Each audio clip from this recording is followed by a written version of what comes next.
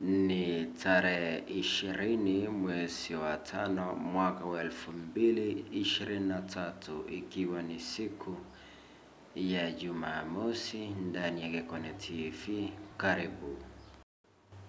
Lifuatalo ni tangazo la mtu aliyepotea.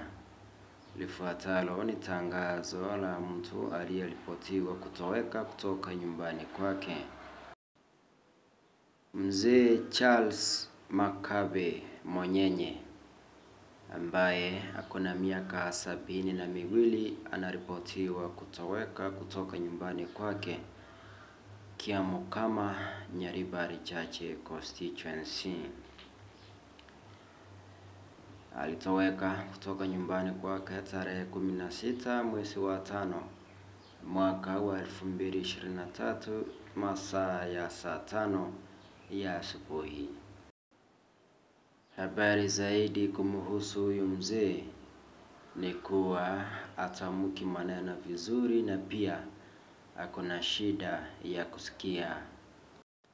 Siku ya mwisho aliyoonekana huyu mzee Charles Makabe Monyenye alionekana mjini Kisii katika soko ya daraja mbili akiwa anasimama nje ya duka na alikuwa amevalia tisheti ya rangi ya manjano inayoandikwa Simba Arati.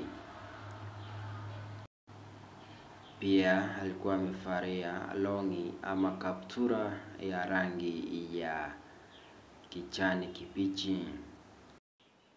Yeyote aliye na habari kumhusu huyu mzee ama kama umewahi muona mahali, umeulizwa uweze kupiga simu ya mwanawe ambayo ni sufuri saba moja moja mbili nane nne moja mbili nane yaani 07 11 28 41 28 ama uweze kupiga ripoti kwenye kituo cha polisi kilicho karibu nawe ili angalau tuweze kusaidia hii familia ya mzee Charles Makabe Mwenyenye aweze kurudishwa nyumbani kwake huko Kiamukama, Kisii.